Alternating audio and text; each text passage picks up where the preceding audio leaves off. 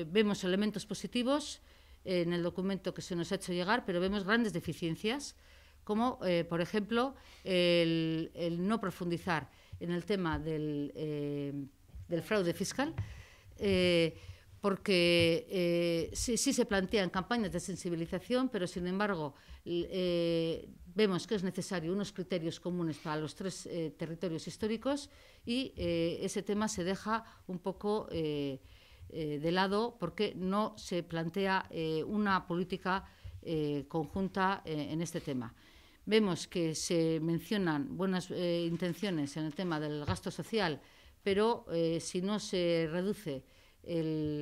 los eh, otros capítulos que tienen un gran gasto, no vemos compatible el poder hacer eh, esta inversión eh, o mantener el gasto social si no se hacen recortes en las políticas que se han hecho hasta ahora y que, según el documento, se plantea mantener.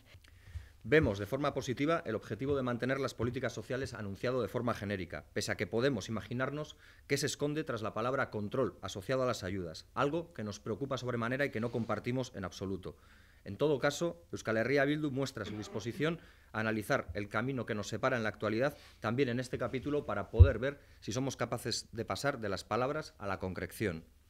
Se puede afirmar, en general, que el planteamiento del PNV se sitúa en los déficits del actual marco y dentro de los márgenes que imponen las actuales políticas neoliberales, como por ejemplo la ley de estabilidad